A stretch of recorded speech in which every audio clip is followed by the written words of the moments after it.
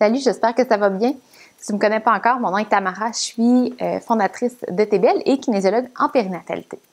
En fait, aujourd'hui, euh, je te fais une capsule spécialement pour toi si tu es enceinte et que tu as des douleurs au niveau lombaire. Je fais ça parce qu'il y en a beaucoup, beaucoup qui vont avoir des douleurs euh, dans le bas du dos, même pas enceinte. Donc, cette capsule-là peut t'aider si, tu n'es pas enceinte et que tu as des douleurs au niveau lombaire. Par contre, les, causes pour avoir des douleurs lombaires enceintes sont un petit peu plus précises parce qu'avoir des douleurs au niveau du dos chez l'être humain en général, c'est assez fréquent. Avant de commencer les exercices, euh, avant d'aller à la partie croustillante, euh, il y a trois informations, trois facteurs en fait que tu dois euh, savoir avant pour bien comprendre la problématique. Le facteur numéro un. En fait, c'est certain qu'il va y avoir un changement de posture qui va s'accompagner avec la grossesse. Le changement de posture, en fait, il est vraiment, vraiment nécessaire euh, chez beaucoup de femmes pour laisser de la place à la croissance du bébé. En fait, ce qui va arriver, c'est qu'il va y avoir une antéversion du bassin. Donc, une antéversion, en fait, c'est tout simplement le bassin qui va s'incliner vers l'avant pour justement aller euh, créer plus d'espace au niveau de l'abdomen, la cavité intra-abdominale, pour que le bébé puisse prendre la place qu'il a besoin pour avoir une croissance optimale. Il y a des symptômes qui vont s'accompagner souvent de cette antéversion-là. Ce qui arrive, c'est que lorsque je vais incliner le bassin vers l'avant, il va avoir une, en fait, il va avoir une pression qui va s'ajouter sur mes disques euh, au niveau des vertèbres lombaires. Hein. C'est sûr que si je, vais aller courber le tronc, donc là, ma colonne va être un petit peu plus courbée euh, au niveau lombaire et ça va aller comprimer un peu mes disques. Ce qui peut arriver, euh, en fait, c'est que la pression, en fait, il y a des douleurs qui, euh, commencent à arriver là, dès, euh, en fait, dès les premières semaines. Même il y en a qui vont sentir une douleur lombaire, même s'ils n'ont pas nécessairement une grosse bédaine encore. Le deuxième facteur. En fait, c'est les hormones. Hein. Les hormones, on sait qu'elles sont présentes pendant la grossesse. En fait, il y a une, une des hormones qui va faire un changement au niveau de la stabilité de tes, ligaments, en fait, ça s'appelle la relaxine. La relaxine va être responsable, en fait, de d'aller euh, rendre tes tissus, dont tes ligaments un peu plus souples pour permettre à ton corps de prendre l'expansion qu'il a besoin pour la croissance du bébé. Qui arrive, en fait, c'est que les ligaments, euh, sont responsables de tenir ton articulation stable. Si j'avais pas de ligaments, en fait, mes muscles, lorsque par exemple je marche, euh, mes muscles en fait tirent sur euh, sur mes os pour que je sois capable de bouger. Si j'avais pas de ligaments, en fait, mes, mes genoux pourraient aller dans toutes les directions, puis là, je serais vraiment, vraiment à risque de me blesser. Donc, les ligaments sont vraiment nécessaires. Pendant la grossesse, sont un petit peu plus souples, donc un peu moins capables de remplir leur fonction de stabiliser les articulations. Ils vont le faire, mais ça va être moins optimal.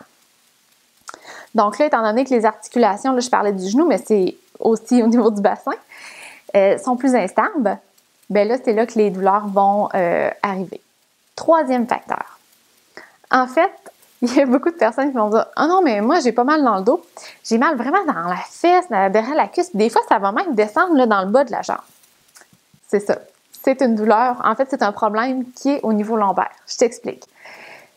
En fait, quand ton bassin, quand on va faire une antéversion, donc quand on va, on va incliner le bassin un petit peu vers l'avant pour laisser de la place au bébé, il y a les, petits coussins euh, qui vont se comprimer entre tes vertèbres. Ça se peut que quand je vais comprimer le petit disque, le coussin, le coussin sorte un petit peu. Et il va aller coincer ton nerf sciatique. Le nerf sciatique, c'est un nerf qui part dans la région lombaire et qui s'en va jusque dans le bas des jambes plus le nerf va être coincé, plus ça va descendre dans le bas de la jambe. Donc, le problème se situe vraiment au niveau lombaire, même si toi, tu le sens dans la fesse, la cuisse ou même le bas de la jambe. Donc, j'espère que ces trois facteurs-là, en fait, ils ont éclairci un petit peu plus les problèmes euh, lombaires.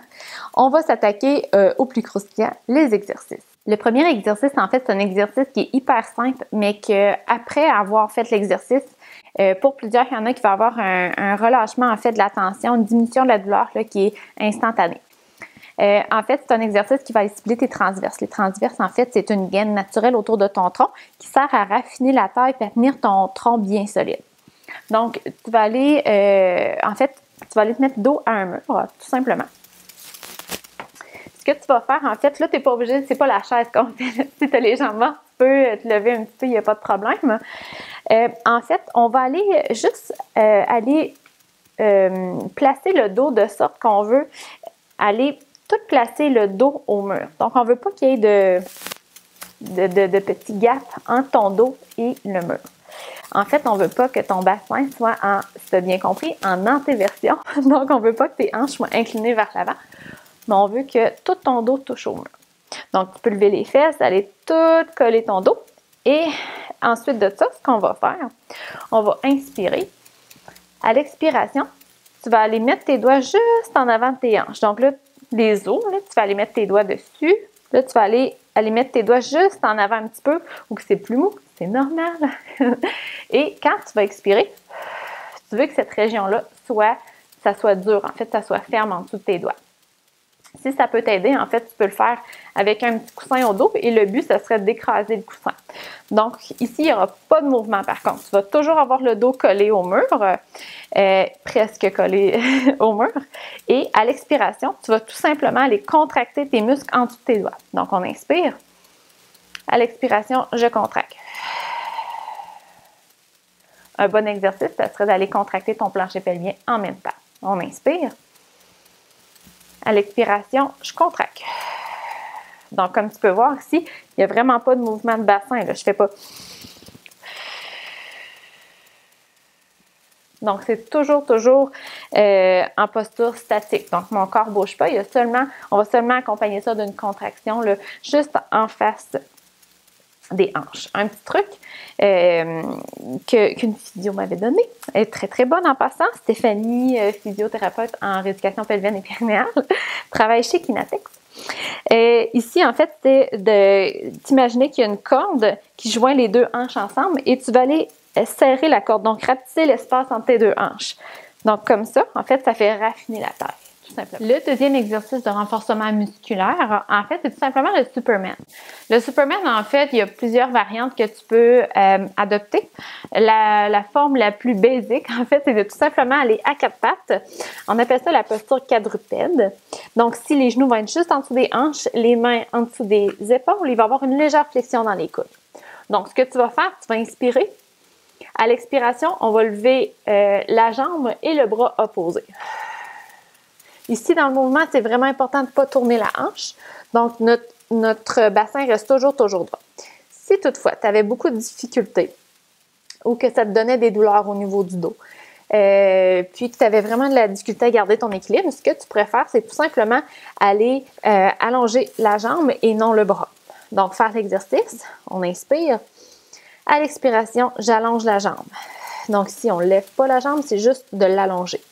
Et quand tu seras plus confortable, en fait, là, tu pourras aller euh, ajouter le bras. L'idée ici de l'exercice, c'est de mettre ton corps dans une, euh, dans une situation de déséquilibre pour juste, justement travailler tes stabilisateurs du tronc. L'idée, c'est d'être dans un léger euh, déséquilibre. Donc, si l'exercice est facile, de comme ça ici, ce que tu préfères, c'est mettre le genou, le genou qui va être au sol, en appui au sol. Tu pourrais, mettre le genou sur un dynadisque ou un coussin tout simplement pour créer euh, une surface instable. On passe aux exercices d'étirement. En fait, il y en a deux.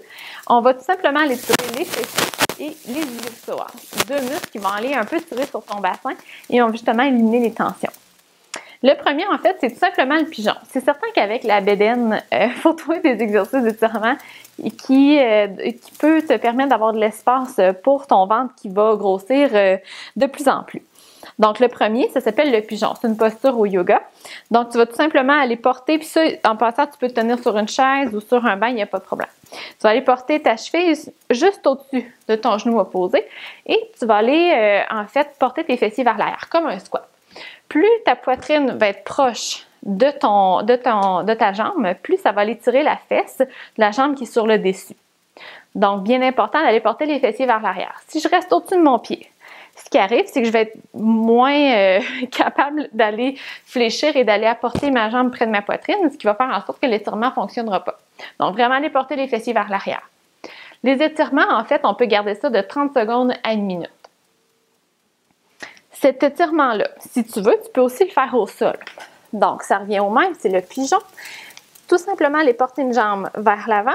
Ici, si tu es capable de mettre la jambe 90 degrés, tu peux. Moi, je suis pas capable, je suis vraiment pas flexible. Et euh, tu vas sentir l'étirement qui est dans la fesse euh, de ta jambe qui est fléchie. Tu peux aller porter les mains au sol, les coudes ou même la tête si tu es capable.